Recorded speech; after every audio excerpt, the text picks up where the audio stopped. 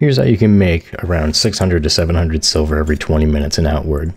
Start by making a new character, it doesn't matter what his name is.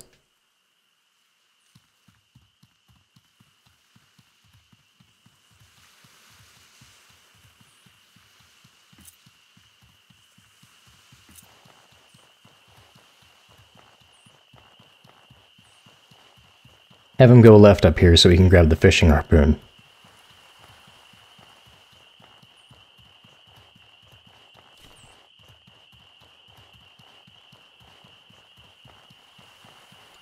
Make sure you grab the bandage next to the second fire up here. And then just go to sleep real quick so you spawn in your house.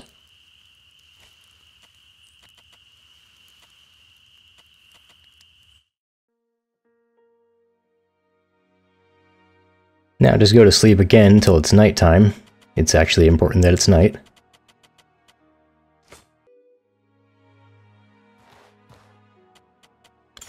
I'm going to turn up the brightness so it's easier to see here.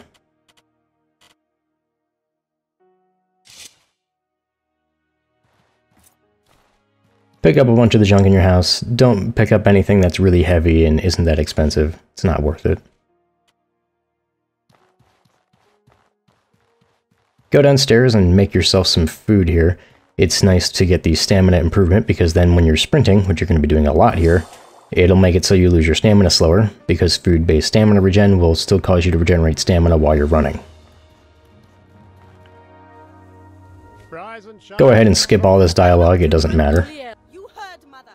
Away with If I could, you must. This is your. Once you remember, you only have a few days. May your ancestors watch over you. Now we're going to go ahead and head to the uh, city hall. There's a treasure chest in here, which sometimes has some pretty good stuff in it.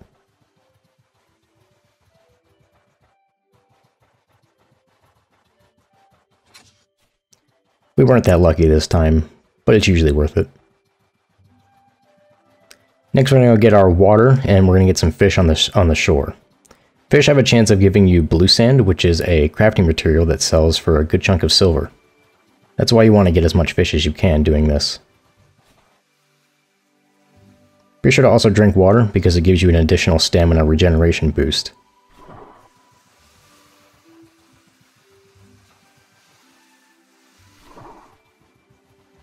Before you continue, sell all of your stuff at the blacksmith with the exception of the fishing harpoon, the bandage, the food you made, and your water.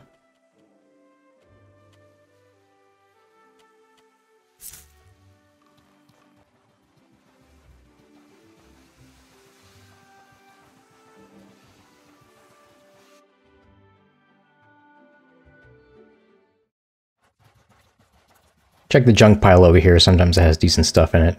Keep in mind the weight of the equipment you're getting. And grab the mining pick here. Put your fishing harpoon, your mining pick, your water, and your bandage in your pocket and let everything else go into your satchel. It'll help with inventory management as you move on.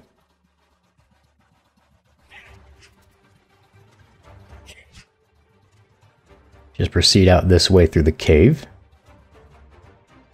And run along the shoreline, getting any fish you see. There'll be a survivor up ahead that you're going to need to use that bandage on, and he'll give you a tribal favor, which sells for 45 silver, which is pretty nice.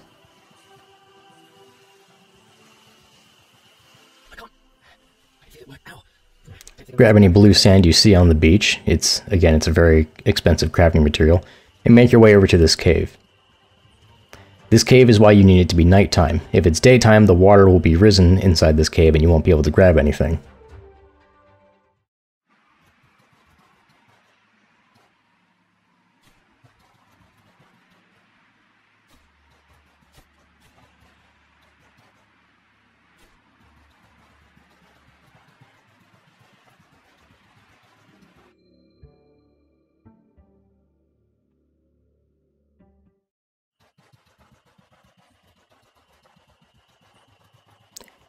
Grab any nodes with ore that you see along the shoreline. There's only two, but they are also an expensive crafting material. Now just continue running along the shoreline, getting any fish, or nodes, or blue sand that you see.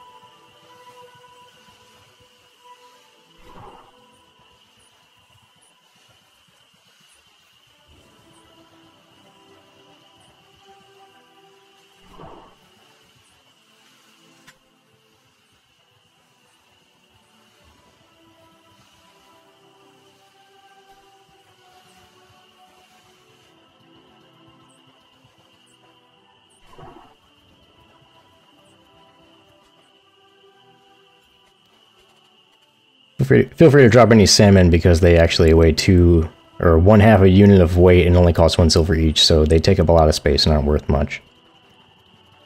Next, we're going to head over to the cave nearby town. Just follow directions that you're seeing on the video here to find your way. And in that cave is more stuff for us to get money from.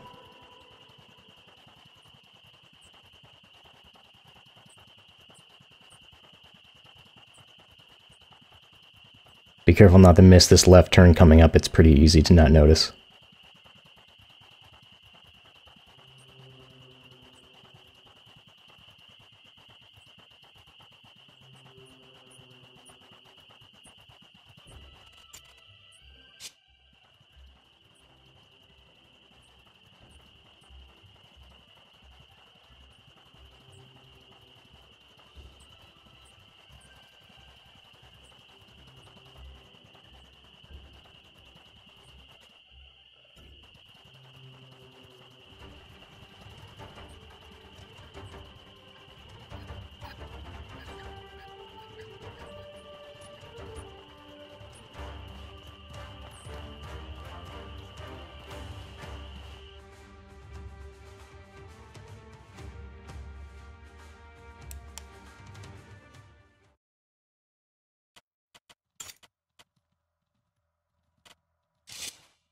Once in the cave, feel free to loot this first guy here. Sometimes he has some good stuff on him.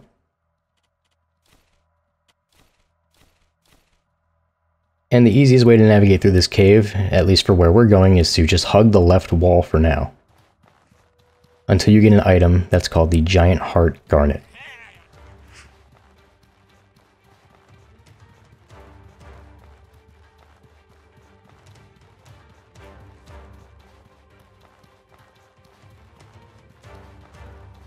Once you go to this little narrow spot and see these bones, keep in mind there's a corpse on the left here that you might have more good stuff. And we get a small sapphire out of it, so that's pretty good. The giant heart garnet's right here. So now, don't follow the hug left wall rule anymore, check the right over here. You'll see a big open room. Go left, and down this tunnel up here. There's a chest in here that can sometimes have good stuff, it's pretty hit or miss.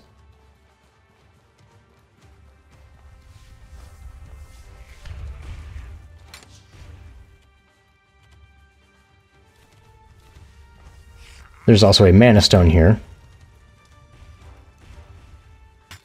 The basic mana stone doesn't sell for that much silver, but you have a chance to get a much rarer type of mana stone, which will sell for 50 silver. So it's worth hitting any mana stones you see.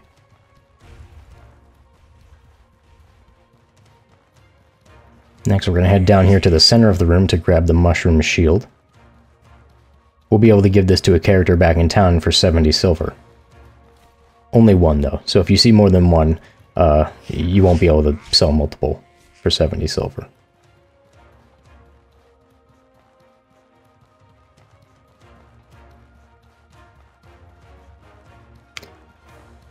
Now the exit of the cave is here on our right, but we're actually going to proceed a little bit further down here to get a couple more items. There's another junk pile. I accidentally picked up a pickaxe, let's go ahead and drop that. It's five units of weight, it's a bit too much. And there's another mana ore over here. We got lucky this time, and we did indeed get one Hackmanite. I believe that's how it's how it's pronounced. But that's worth 50 silver.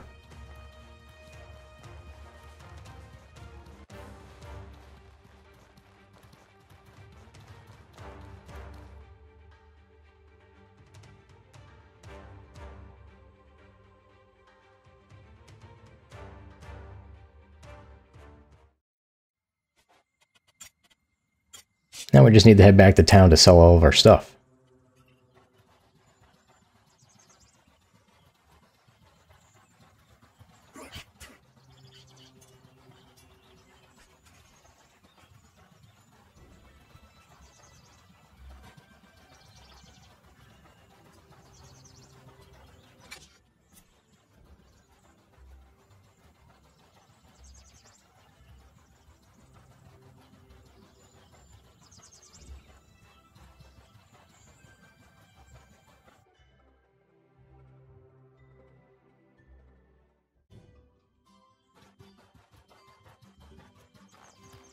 The character up here will buy our giant heart garnet as well as our mushroom shield.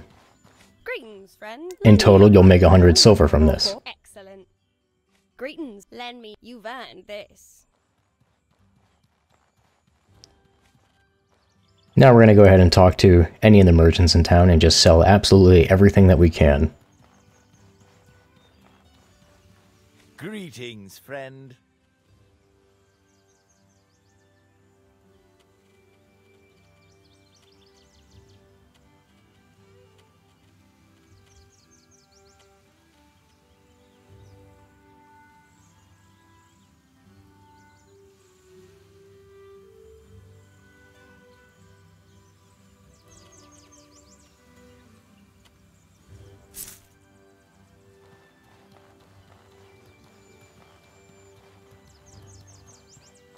What can I do? All right.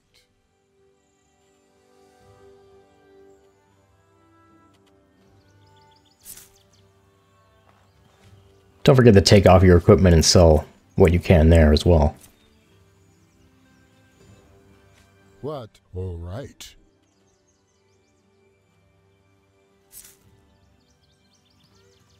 And that's everything sold. We have about 600, yeah, we have 672 silver. Now, you're going to jump to the character that you want to get all of this money on. I'm going to use Fiona here.